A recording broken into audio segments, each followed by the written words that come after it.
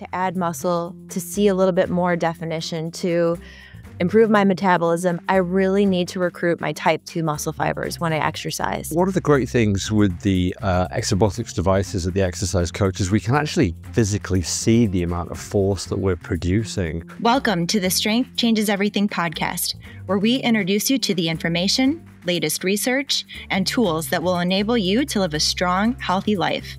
On this podcast, we will also answer your questions about strength, health, and well being. I'm Amy Hudson. I own and operate three exercise coach studios. My co hosts are Brian Cygan, co founder and CEO of The Exercise Coach, and Dr. James Fisher, leading researcher in evidence based strength training.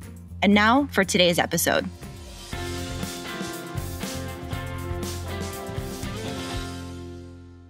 Welcome back, everybody. If you've been with us for the past few weeks, you know that we've been talking about indicators or markers that are easy to look towards to conclude whether or not your exercise session was effective. For example, we've talked about things like soreness, we've talked about things like sweating. Does how much I sweat, does how sore I am, or does how long I've spent exercising indicate how effective my workout was? I think when it comes to thinking about whether a workout was effective, most people out there are thinking about the change that it delivers to their body. If I'm going to spend time exercising, what do I hope is the outcome of that? Nobody wants to spin their wheels, or when it comes to exercise, it's discouraging to spend years upon years doing something that you're not sure is working. And so today we're going to reveal what is the secret to effective exercise? How do I know that what I'm doing is going to change my body. Okay. This is the million dollar question for those people who want to exercise as a means to achieve their goals, which is most of us, which is most of us, right? So, Dr. Fisher is with me today. How are you doing, Dr. Fisher? I'm doing fantastic, Amy. I, I love this question, so I'm really excited to get into it. But first, how are you doing? I am well. I cannot wait to reveal the secret uh, to the population of what what is the secret to effective exercise. So, what is the secret to effective exercise? First of all, I, I love these questions because they're the right questions to ask. They're asking, what is the stimulus? What do I need to do to create an adaptation? And I think once we have in mind that, that the exercise is the stimulus to adaptation, we can just stop blindly going and doing as much as we can. Because some people will take a really high volume approach to, um, to a lot of exercise, whether it's running or strength training or cycling, whatever it might be, and they'll think that more is better. And that's, that's really not the case the secret really is the intensity of effort. And this is uh, often termed in different ways. I'm going to use the term intensity of effort because that's what we've used in the scientific literature. Um, in most cases, in strength training, that's talked about as fatigue or volitional fatigue. So that's what the coaches may have used in their in their vocabulary.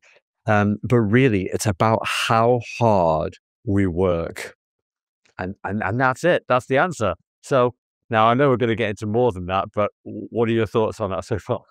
Okay, so mic drop. The secret to effects, effective exercise is fatiguing the muscle or working it at the right level of intensity. We've talked before that the reason most people fail to see results in exercise is because they are not exercising at the right level of intensity. So, fatiguing my muscle is the secret to it changing. Yes, correct? Well, absolutely. So, what actually happens is when I start to contract a muscle, uh, I recruit muscle fibers. So, I think we've talked on a previous podcast about type 1 and type 2 muscle fibers. So I start to contract my muscles against the resistance. And if it's just a normal resistance like a dumbbell or a barbell, then as I start to recruit those muscle fibers, I'll recruit low threshold motor units um, and the corresponding type 1 muscle fibers. But as that exercise gets harder, as my effort level gets higher, then I'll start to recruit the type 2 high threshold motor units and the type 2 muscle fibers. Now, of course, on the Exerbotics devices, uh, the exercise coach, where the resistance is immediately quite high because it's isokinetic, um, the initial repetitions might in, might already start to recruit some of those type 2 muscle fibers. And certainly in the eccentric phase when we're lowering the weight or when we're resisting uh, maybe the leg press coming back towards us or the chest press coming back towards us where we're resisting that movement there's actually a higher preferential recruitment of type 2 muscle fibers but fundamentally this is the stimulus for adaptation if we don't recruit muscle fibers to work, we don't stimulate them to grow. We don't stimulate them to get stronger. We don't stimulate them to get bigger. So we have to recruit those muscle fibers. So if we stay within our limits, if I ever try and do exercise and all I do is I pick up a pencil and I do 20 or 50 bicep curls with a pencil, that's not going to be hard work. And it's simply never going to recruit the higher threshold motor units and the type 2 muscle fibers that I want to make a change.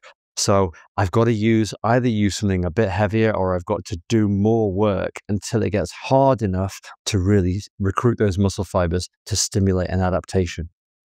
Why is it so important to recruit type 2 muscle fibers? Yeah, so type 2 muscle fibers are the ones that we lose as we age. They're also the ones that are most responsive to uh, strength and muscle size growth. So, um, our type 1 muscle fibers can grow a little bit, but not a huge amount. Um, and our type 1 muscle fibers are sort of great for endurance activity or for um, sustained low load contraction or sustained low force contraction. But it's our type 2 muscle fibers um, that produce high amounts of force um, that we really want to recruit and that can grow bigger as well, that we really want to recruit and they're the ones that we lose as we uh, as we age. So we really want to recruit them build them while we can um, or recover them as we get older. And we do that by working at that higher intensity of effort. Um, and as we talked about before, a lot of time that's talked about as to fatigue or to volitional fatigue to the point where you feel like, I just can't push anymore or I just can't pull anymore. That's the sign that you're truly working uh, hard enough to really recruit those muscle fibers uh, to stimulate a, a, a change. Okay, so you're saying that if my goal is to add muscle, to see a little bit more definition, to improve my metabolism, I really need to recruit my type 2 muscle fibers when I exercise. A walk maybe activates those type 1 muscle fibers. But if I really want to see some of the uh, additional benefits, I need to focus on fatiguing and getting at recruiting those type 2 muscle fibers, digging deep enough to do that in my workout. One thing you just said then is um, getting to the point where you don't feel like you can push or pull any anymore. That is one sign. What are some other signs that I've fatigued a muscle sufficiently? What should I be feeling or looking for in my workout? What does that look like and feel like? Well, one of the great things with the uh, Exerbotics devices of the exercise coach is we can actually physically see the amount of force that we're producing so as I push against the leg press, I can see my curve uh, compared to to what I'm trying to achieve. So if I'm still able to to go beyond it uh, in my sixth or seventh or eighth repetition, then I can really push hard and really try to produce as much force as I can. If my force is dropping off, but I'm still really pushing as hard as I can, that's simply a sign that my body's now fatigued those higher threshold motor units and it's not able to produce as much force. Now, unfortunately, there aren't any other really big markers. It's not like, uh, oh, we start sweating. We've talked previously about sweating. So it's not like we suddenly start sweating when we recruit the high threshold motor units. That's just about our body temperature. It's not even really about our heart rate, although our heart rate will generally get higher as we work harder. So I guess if our heart rate is getting higher, that's probably a good marker, but it's not the the marker and not the only marker. Really, it's simply knowing that we've pushed as hard as or pulled as hard as we can with uh, w- with that single task. Now, the great thing about this is it means that it's not about how much we do, because once we've stimulated a muscle fiber to adapt, there's not really much to be gained by re-recruiting those muscle fibers and doing it all again. So lots of people will go into the gym and they'll do the the typical old school approach of three sets of 10 repetitions. And sometimes that will work out great if, if it's hard enough, but sometimes it won't work out at all if it's not hard enough. So some people will go in the gym and they'll spend hours in the gym doing three sets of 10 repetitions of bench press and three sets of 10 repetitions of leg press, but they will never get any stronger or any bigger. And that's simply because that three sets of 10 repetitions is well within their capacity. Actually, they can up the weight and simply do one set of 10 to 12 repetitions and they'll achieve much, much more. Or come to the exercise coach and obviously do a single set of an exercise, and that will be sufficient stimulus for those muscle fibers. And then obviously, you'll re recruit them to some extent with different exercises. Um, but, but there's no need to, to spend hours and hours doing a workout. Okay. So you said staying in my range or at my target or above my target if I'm working out at the exercise coach, I see right there on a screen in front of me my goal for my exercise to make sure I'm working at that level of intensity. You said heart rate, maybe, maybe not though. Um, it's not about number of reps. Another couple signs that come to my mind is shaky muscles. My muscles start may start to shake, tremble as I fatigue. Um, our form can can be start to suffer, the more fatigue we get. It's just harder to maintain proper form because we're fatigued. Um, so that might be a sign. Heavy breathing may be a sign. And then one other um, uh, indication that comes to mind from a previous previous podcast that muscle burn is your friend. Having a little bit of muscle burn during that workout is a good sign. It means that you're recruiting your muscles or you're de- you're you're depleting them sufficiently of the energy stored in them, which is what you want to do, right? That's a good thing.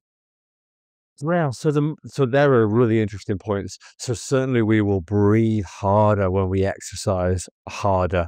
We we cannot help that, and it's really important that we do keep breathing because some people will hold their breath. Uh, they'll perform what's called a Valsalva maneuver, and that's really not beneficial. It will cause a sudden drop in blood pressure as they hold their breath, and then a sudden spike in blood pressure as there's a kind of recovery. So we definitely don't want to hold our breath when we uh, when we're performing strength training exercise. You then also mentioned uh, the discomfort or the burn. Now this is really fascinating. We've done a lot of effort. I've done a lot of research dissociating effort from discomfort. So you can work really hard and sometimes not feel that high level of discomfort, and sometimes you work really hard and you feel a huge amount of discomfort and you really feel that burn. Um, one of the things that's that's really clear in the literature is we'll feel more discomfort from lower body muscles. So you're more likely to feel that burn if you're training the quadriceps. So a knee extension exercise or a leg press exercise will probably get you that that muscular burn, as you called it, Amy. Whereas a chest press or an overhead press or pull down, we might not feel the same degree of burning sensation within the muscle. The other thing that we know is that the discomfort can be higher with a longer set of exercise. So that's time under load. So if we have a longer time under load, our discomfort is likely to get much, much higher compared to a shorter time under load set. Whereas actually our effort level can be equally high in both in both sets. Absolutely. Okay, so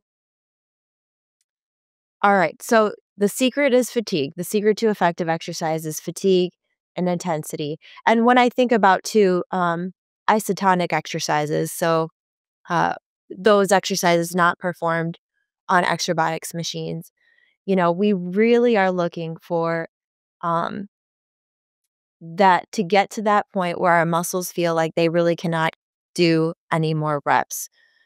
Um, that's how we know we have really truly fatigued that muscle. We we want to get to that point. That's actually a good sign, right? Um, because then when we go home, if we can get our muscles to that point and deplete them thoroughly enough, and fatigue them thoroughly enough, that's when we can trigger them to change. How does that change happen, Dr. Fisher, at a high level after a workout like this? Yeah, absolutely. So we stimulate the muscle to adapt. We uh, we've we've recruited this neural process within our brain. We've sent this neural signal through our, our neurophysiology to recruit these muscle fibers. Uh, that's caused some some microscopic trauma within the muscle, and then there's kind of a cata, a, a, a catalyst response of different enzymes to recover those muscles uh, and to um, replenish and, and rebuild them for strength and for muscle size, as it were. So we know that this takes a degree of time. We know that there's, you know, sleep is a big marker for recovery of, of muscle growth and muscle strength, uh, both at an acute level uh, as well as over a chronic period of time. There have been studies that have shown that, you know, people that are averaging sort of six to 10 hours of sleep per night will build strength and muscle size much quicker than people that are averaging sort of less than six hours of sleep per night. We also know that good nutrition is really important. So protein is essential for sort of muscle protein synthesis and strength and uh, and recovering our, our muscle fibers. So there's a few different factors there, um, and of course, not re-stimulating the muscle. If we do something every single day uh, because we think that's good, then we're probably just going to fatigue the muscle over and over and over and over again, but not give it that time to grow. The workout is the stimulus it's the time after the workout that allows that adaptation. And and for many clients at the exercise coach, honestly, that's the best news because that means that they that those recovery days are just as beneficial as the workout days. And so for people who do not like to spend hours and hours a week exercising, they can put in 20 challenging minutes let their body recover for the next couple days, and then come back and do it again. And as that recovery happens, like you just mentioned, the repair happens and their muscles get stronger. And that's what we're looking for because when our muscles grow and get stronger, that's what delivers the fitness eh, results that most people are after. All of the wonderful benefits that we talk about every week on this podcast that strength training delivers happen during those recovery days, those magic days between your sessions. And that's why it doesn't take longer. And that's great news for a lot of people who are busy. So, thank you for breaking this secret down for us, Dr. Fisher. Do you have any final thoughts on this topic? No, that's great. It was another great list of questions. So, uh, really excited to have answered that one. Yes. All right. Well, thank you. Thank you. And please keep those questions coming. We will see you next week on the podcast. Hope you remember strength changes everything. Thanks for listening. If you enjoyed today's episode, please share it with a friend. You can submit a question or connect with the show at strengthchangeseverything.com. Join us next week for another episode and be sure to follow the show on Apple Podcasts, YouTube, or wherever you get your podcasts so that you never miss another episode. Here's to you and your best health.